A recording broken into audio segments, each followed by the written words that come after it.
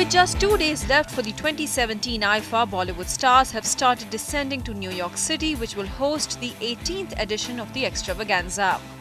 The Nawab of Bollywood, Saif Ali Khan, who will be hosting the award night along with Karan Johar at the iconic MetLife Stadium, was among the first ones to arrive on Tuesday. Host of celebs including Shahid Kapoor, Rajat Kapoor and Manish Paul were also spotted marking their presence for the awards. For the first time in 18 years, the prestigious award show will be romancing with the city that never sleeps, New York on July 14 and 15.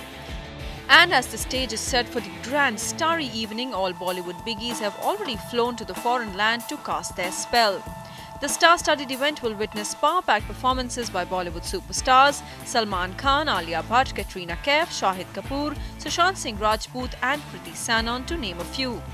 Varun Dhawan will also be making his debut at IIFA with a stunning performance and will also be co-hosting a segment of the star-studded award night.